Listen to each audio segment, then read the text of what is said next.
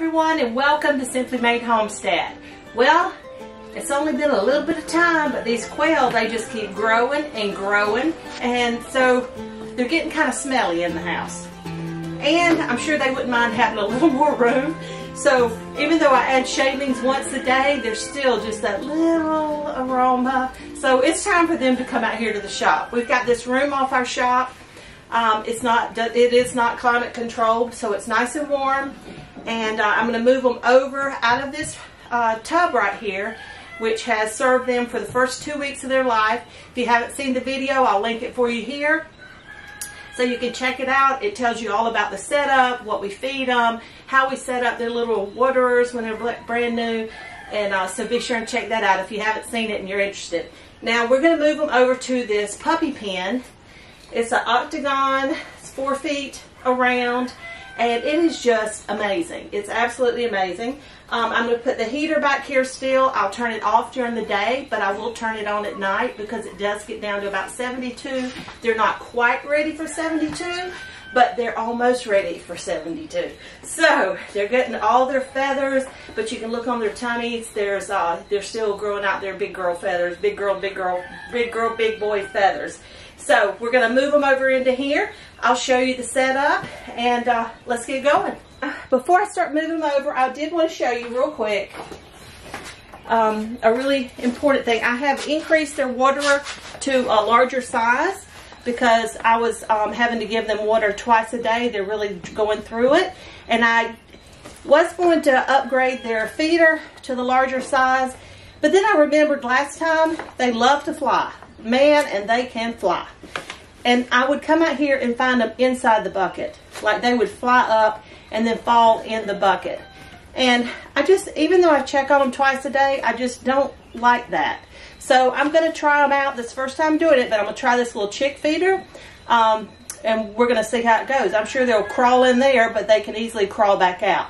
So I've got shavings on the bottom. I did put the feeder and the water up on some bricks because they tend to kick the shavings. They're bigger. They're, you know, really active. And they kick their shavings all in their food and their water. And this will just help keep it cleaner.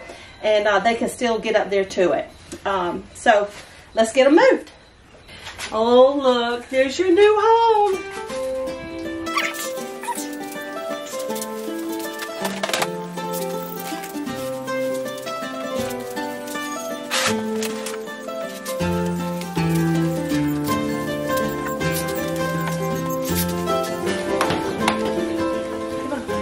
booty.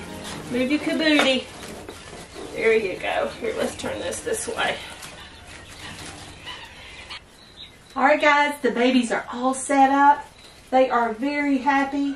You don't hear any big loud chirping or any kind of major noise going on. They're just little tiny little chirps, so you know they are very happy and very content. That is one way that you can tell with quail, chicks, or anything. When you are uh, raising them when they are young like that, if they are chirping really loud, there could be cold, um, they should need food or water. It's just like a baby. It's their, their way of telling you that they're not happy. But they are very content.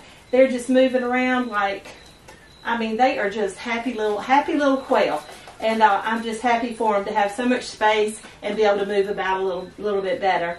If you've enjoyed this video, please give us a big old thumbs up. We really appreciate it, and it really does help us out a lot. Uh, if you have any questions or comments, we would love to hear from you, so just leave them in the comment section below. We do have a link in the description box below for the uh, puppy pen, so you can check that out. And uh, I, would highly recommend it. It has we have we have two, and we have used them over and over and over again. If you haven't subscribed to our channel yet, please be sure and hit that subscribe button. We would love to have you join us. And if you are interested in raising quail, we have a playlist for raising quail. And it's from building pens to, I mean, everything. There's just everything, waterers, just all kinds of really good, useful information in there about raising quail. So be sure and check that out. And until next time, take care and God bless.